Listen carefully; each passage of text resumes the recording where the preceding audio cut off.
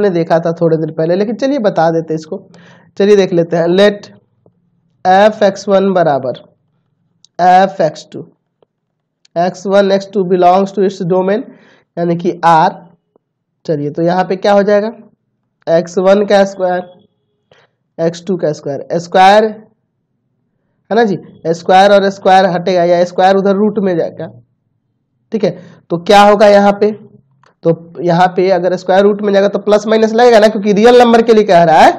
चलिए तो plus minus X two therefore F is not one one F क्या है आपका? वन वन नहीं है। चलिए अन टू के लिए चेक करते हैं। लेट वाई बराबर एफ़ एक्स यानी कि वाई बराबर हो जाएगा एक्स स्क्वायर यहाँ से एक्स का वैल्यू आ जाएगा रूट अंडर वाई अच्छा इसके रियल वैल्यू मिलने के लिए वाई का वैल्यू ज़ीरो और ज़ीरो से बड़ा होना चाहिए। तो इसका रियल वैल्यू नहीं मिलेगा कब? जब वाई यानी कि जब वाई बिलोंग करेगा किसी रियल निगेटिव नंबर से।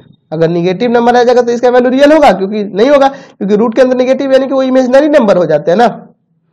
तो अगर y का वैल्यू अगर हम लोग कोई निगेटिव रियल नंबर ले लेंगे तो इसका वैल्यू रियल नहीं होगा। रियल नंबर से बिलोंग नहीं करेगा। Therefore F is not onto यानी कि ना ये फ़ंक्शन वन वन है और ना ही अनटू है। क्लियर हो गया? चलिए अगला देखते हैं क्वेश्चन नंबर